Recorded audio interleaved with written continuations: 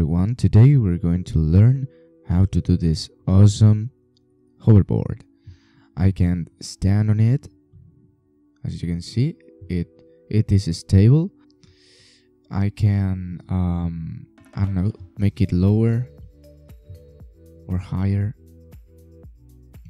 And I don't know. So let's get into it.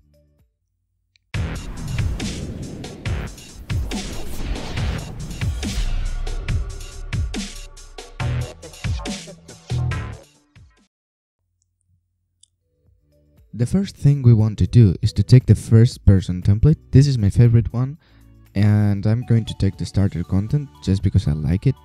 Uh, put the name and create project. I'm going to come back when it's created.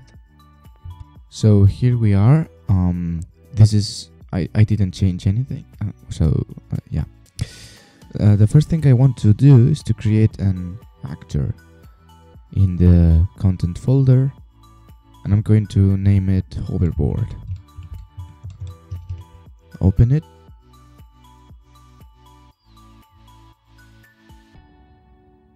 Okay. So the the first thing we want to add is an static mesh and make it parent. If you if you saw uh, my tutorial on how to do a rocket, um, you probably know how to do this already, but I'm going to explain it again um, we have to attach the static mesh to the default scene root because we want to activate the physics. And we can't do it. Well I, I have to select a mesh before. I'm going to take the cube. Um, we can't if we activate if we activate the physics without it being the root component uh, it won't work. So you have to attach it um, assign a mesh and then simulate physics. Uh, the linear damping and the uh, uh, damping and the angular damping, I'm going to set them to 5 because I like it. There's no, um, I don't know, you can set any value you want. So uh, then I want to add a, um, how it's called, a thruster, a physics thruster, and then an arrow component. Arrow component. Why is that? Because the physics thruster has no direction itself. I mean, you can you can't know which direction is it pointing to. So we assign an arrow in order to know it.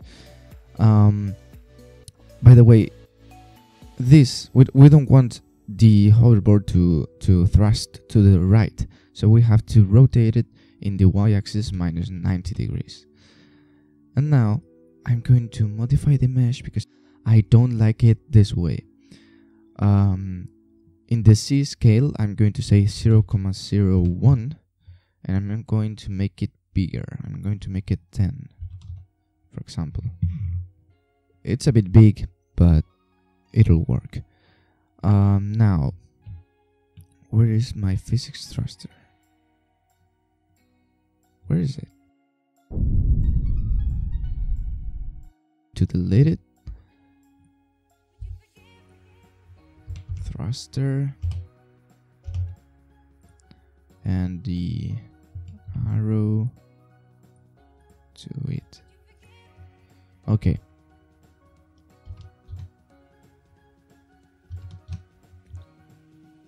Now we are talking. Okay, so um I'm going to rotate it 90 degrees minus 90 degrees and I'm going to move it to the corners. Um, I'm going to make the grid a little bit uh, the snap size a little bit higher so I can place it where I really want to. And that's there. I duplicate it. Assign the arrow and move it there and I duplicate everything again assign the arrows like that and move them one and two so now we should have all the thrusters set. Which one is this? What about the arrow?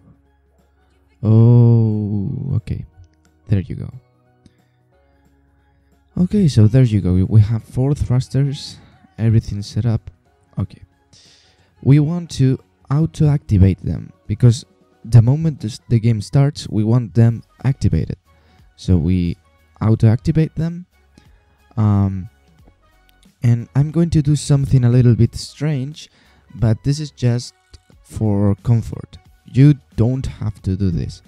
I'm going to create a variable of type, I'm going to name it thrusters, and it's going to be of type thruster component.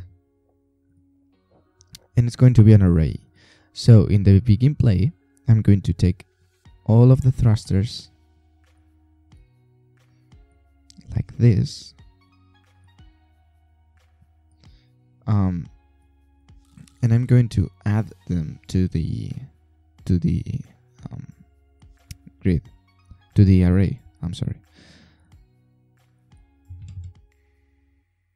Add, and now, well, it's not going to be pretty because I don't want to waste time in this, but it will work. That is the important thing. Um, there you go. The exec path. And that's it. Okay, so now in the event tick, um, I want to take the array and for each loop through every thruster. So in in in this configuration, if we add more thrusters, we have to add them to the array and that's it. It, it will automatically do it. Uh, everything else. So in the loop body, um, what I want to do is to um, well, we have to do an uh, line trace by channel uh, in order to know the distance to the floor and in, and when we know the distance to the floor, then we can assign a thrust. Um, to know the distance to the floor, I'm going to make a new function get d to floor. Get distance to floor. The input is going to be a thruster component, and I'm going to name it t because I'm lazy. And well, what I'm going to say is get world location and um, yes, and align trace by channel. Be careful because there's a multi-line trace by channel. We don't want that. We want the line trace by channel. The start is going to be the world location and the end is going to be, well, we're going to take the forward the forward vector and we're going to multiply it by the by the distance the distance we want it to be. So I'm going to make a new variable called height of type float and it's not it's not going to be an array and another one called uh, max thrust. We're going to use them later. Um, right now I'm going to assign a value for this. It's going to be a hundred to start with and I'm going to multiply it here. Multiply, whoops, multiply, float, that's it. And that's the end. Well, I'm sorry, we have to add them together that's it. Um, I'm going to draw for a duration for 0, 0.2 seconds. Um, and I'm going to break the hit. And we want to say if it hit anything um, th this variable um, is used to check if it either if the line trace hit anything. So we we are going to check that. And if it did then we want to get the the distance. And in order to do that we want to get the world location location and break it to get the Z and in the impact normal uh, I'm sorry in the uh, impact point we want to break the vector 2 and we subtract both Z's. So now we have the the, the distance to the floor in the z-axis, which is what we wanted. So now return node and we want to add an output that is the distance. Type float and put it there uh, if it didn't hit the floor then uh, the distance is going to be a, a big number like that. This is the biggest number you can put into a float. Uh, so this will do. By the way, if you want to check, for example, if you want it to hover um, on the floor, just on the floor, and don't inter interact with other objects, in the uh, here you have to cast to the objects uh, you want it to interact with. Okay cast to for example floor and it will in it will uh, work. So now I want to be I want the function to be pure. And we take the function here. We take the t and um, we're going to clamp the value I'm sorry the, to map range clamped um, the distance can go between 0 and the height.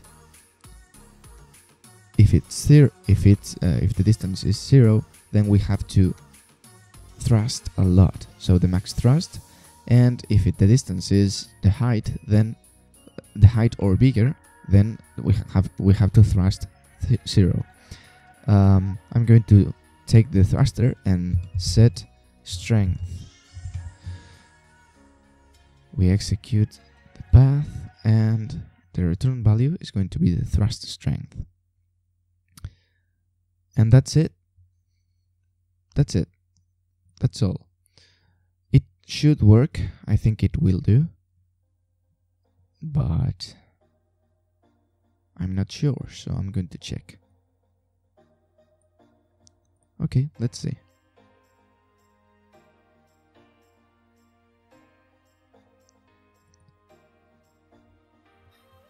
Okay. I think it works, but oh, I forgot one thing. Um, I didn't set the max thrust to a number, so I'm going to set it to that number. Well, it's too big. That number, for example. And I'm going to make the height bigger because that was... Mm, that wasn't the height I wanted. So now it should really work. Uh, well, it's not. I don't know why. Why is happening this? Okay, let me check one thing. Um, I'm going to copy the value I had to the max thrust. And let's see. Whoa.